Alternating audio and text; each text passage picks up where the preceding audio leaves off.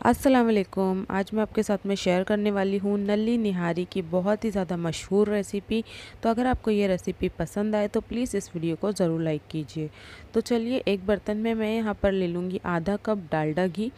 घी में ही इसका जो ऑथेंटिक टेस्ट है, वो निकल कर आता है।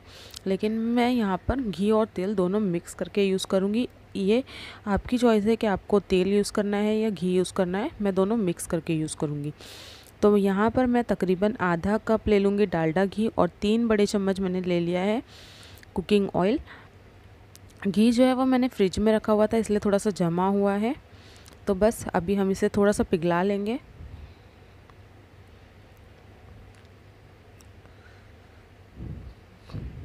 तो चलिए, घी जो है, अच्छे से हमारा जो है, वो पिघल चुका है। अब मैं इसमें ऐड कर दूँगी तीन प्याज। ये मीडियम साइज़ की प्याज को मैंने पतला पतला कट कर लिया है स्लाइसेस में और अब मैं इसको तेल में डाल दूँगी ताकि प्याज जो है, वो अच्छे से गोल्डन फ्राई हो जाए। तो अभी आप देख सकते हैं, मैं इस तरीके से कर रही हूँ ताकि प्याज जो है, वो खुल जाए, आपस में जो चिपके हुए हैं। इससे जो है, वो करारा फ्राई होता है और ब्रिस्ता जो है बहुत ही अच्छा और क्रिस्पी सा बनकर तैयार होता है।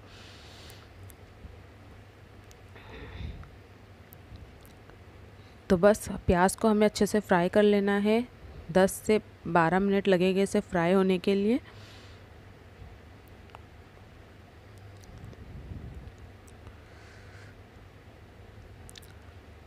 तो अभी आप देख सकते हैं, प्याज जो है हमारी फ्राई होना शुरू हो चुकी है। अभी हमारे पाँच मिनट हो चुके हैं और हमें इसे अच्छे से गोल्डन फ्राई कर लेना है।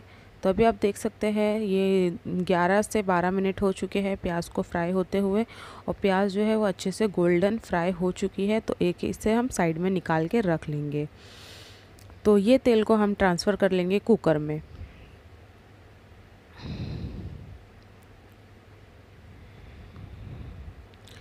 चलिए कुकर में मैंने तेल को ट्रांसफ़र कर लिया है और अब मैं इसमें ऐड कर दूँगी तीन से चार चम्मच अदरक लहसुन का पेस्ट अदरक लहसुन का पेस्ट थोड़ा ज़्यादा ही हम यूज़ करेंगे ताकि इसमें जो अब फ्लेवर आता है वो अदरक लहसुन का बहुत ही ज़्यादा अच्छा आता है। तो इसे अच्छे से भुनने के बाद हम इसमें ऐड कर देंगे गोश्त। गोश्त मैंने यहाँ पर लिया है आधा किलो हाफ़ के जी और यहाँ पर मैंने ले लिए है दो नलियाँ नलियों के साथ गोश्त को हमें अच्छे से भून लेना है ताकि जो अदरक लहसन है और गोश्त है आपस में अच्छे से मिल जाए और उसकी जो स्मेल होती है वो ख़त्म हो जाए। तो हमें गोश्त को अच्छे से भूनना है 10 से 12 मिनट तक ताकि इसका भी सारा पानी निकले और अच्छे से सूख जाए। तो भी आप देख सकते हैं गोश्त में कितना सारा पानी छोड़ दिया है और ये सारा पानी हमें सुखा लेना है।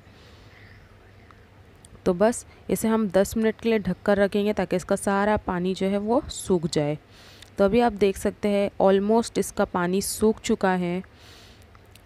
तो यहाँ पर मैं ऐड कर दूँगी दो चम्मच निहारी मसाला। तो यहाँ पर मैंने लिया है निहारी मसाला शान का, जो कि बहुत ही ज़्यादा अच्छा फ्लेवर देता है। और अगर आप चाहे तो आप कोई और ब्रांड का भी ले सकते हैं, लेकिन मुझे शान का भी निहारी मसाला बहुत ज़्यादा पसंद है और आप चाहे तो इसे होममेड भी बना सकते हैं। तो अगर आपको होममेड देखना है तो आप मुझे कमेंट करके ज़रूर बताइए, मैं होममेड निहारी मसाला भी बता दूँगी।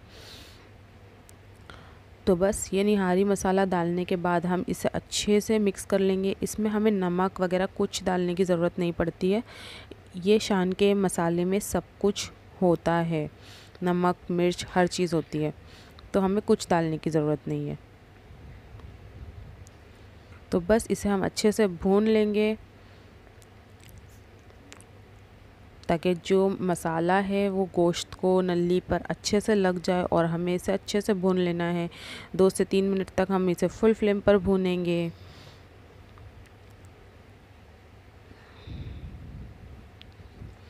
तो बस आप देख सकते हैं कितने अच्छे से जो मसाला है वो हमारा भुन चुका है। अब मैं इसमें ऐड कर दूँगी एक गिलास पानी। तो एक गिलास पानी हम पूरा इसमें ऐड कर देंगे ताकि जो नली है वो थोड़ी देर से गलती है, इसीलिए वो भी अच्छे से फटाफट गल जाए और इसे हम पाँच विसल ले लेंगे। तो आप देख सकते हैं इसमें थोड़ा सा हल्का सा उबाल आना शुरू हो चुका है। तो बस एक बार हम इसे अच्छे से मिक्स कर ले रहे हैं। और अब इसका लेट से कवर करके हम इसकी पाँच विसल ले लेंगे। और कुकर ठंडा हो चुका है, हमने इसे पाँच विसल ले लिया और फिर आप देख सकते हैं, इसे उसी बर्तन में हमने ट्रांसफ़र कर लिया है और इसके ऊपर से जो तरी थी वो सारी निकाल ली है। तो बस अब हम इसे थोड़ा सा पका लेंगे और हमने जो प्याज फ्राई करके रखी हुई थी उसका हम एक पेस्ट बना लेंगे या फिर आप चाहे तो हाथ से भी क्रश कर सकते हैं। तो मैंने इसे दरदरा सा क्रश कर लिया है, वो भी हम इस निहारी में मिक्स कर लेंगे। तो बस इसे हम दो से तीन मिनट तक अच्छे से मिक्स करेंगे ताकि प्याज जो है वो अच्छे से मिक्स हो जाए। और मैं इसमें कोई गेहूँ का आटा या फिर चने का वो नहीं डालने वाली हूँ। बस इसमें मैं अभी ऐड कर दूँगी आधा ग्लास पानी और मेरी निहारी आप देख सकते हैं, अभी से थोड़ी थिक है तो मुझे और थिक करने की ज़रूरत नहीं पड़ेगी। तो मैं इसमें कुछ यूज़ नहीं करूँगी और इसे आप गार्निश कर सकते हैं अदरक के साथ, हरी मिर्च के साथ। तो रेसिपी पसंद आए तो प्लीज़ लाइक कीजिए।